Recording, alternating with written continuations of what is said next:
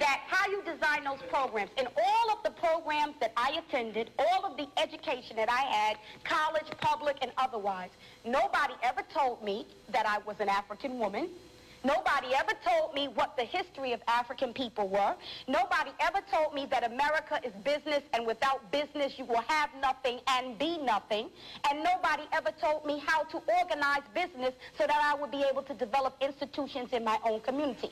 So now the sincerity the sincerity of all of the programs and all of the education has to be questioned indicted, and convicted because the bottom line is that America is not and has never tried to produce African adults who are functional, self-sufficient, who understand their politics, their economics, and their relationship to the world politics and the world economics. America is with the NAACP, the Urban League, and the traditional We, we Shall Overcome uh, civil rights leaders of the 50s and 60s that have been all but abandoned and ignored by younger people, Sister Souljah yeah. included. May, may I just make one comment on that? I think that the dice are loaded, and that's what's left out of Mr. Brown's piece. Mm-hmm. See, there was a period of time in this country after uh, uh, re- Reconstruction where African people owned a lot of land, owned a lot of businesses, and did a lot of things. But what happened was the American government, the Ku Klux Klan,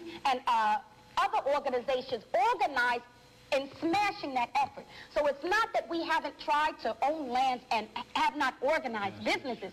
It's that if you are African in America or in Latin America or in the Caribbean or in the continent, you will be hunted no matter what you do because they do not want us to survive and become self-sufficient. And you can say no, but you haven't lived this life.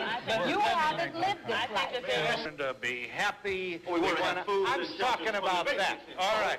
Now, to paraphrase Senator Bradley of uh, New Jersey, the uh, state from which you, your piece was. Senator uh, Bradley gets much right when he talks. Uh, well, he does, and he among other things, and he's not claiming to be particularly original with the observation, we can't get there unless we go together. I have a terrible feeling that behind me are some people who do not agree.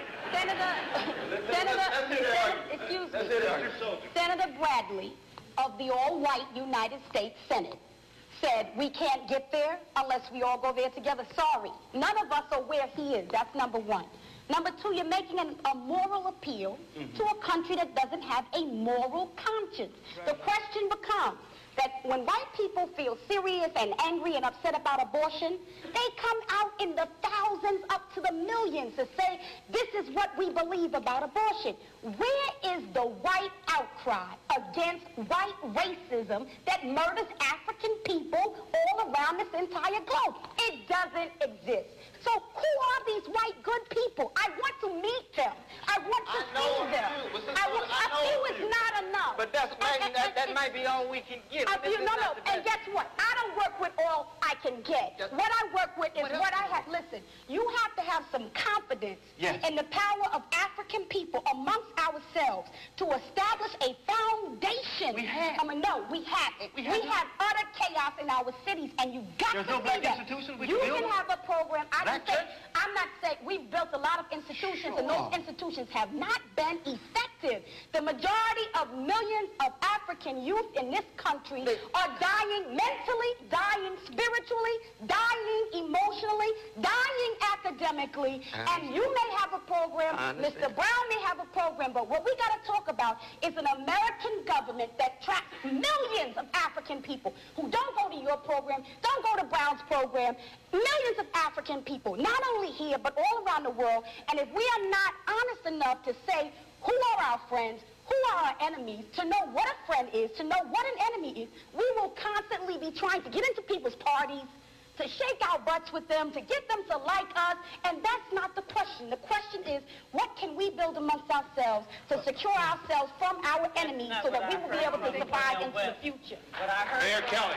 Mayor... That's enough to know that if I walk out Washington, D.C. tonight, some black kid in Washington, D.C. is blowing up another black kid's head for a pair of sneakers because the institutions that we're talking about, not the things that we hold up to say, look, this is one example. The institutions that we're talking about are not saving the minds of those African children. That is the honest truth.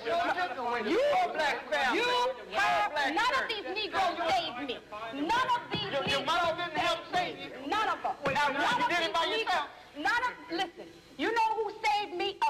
named John DeSane in Englewood, New Jersey, who told me who I was, who showed me my history, who told me who my enemies were, who let me know that this was not an easy world, who let me know that this was a cold environment, who let me, no, no, what he's not a part of is dilly-dallying with the minds of African children and letting them know what the real situation is in America.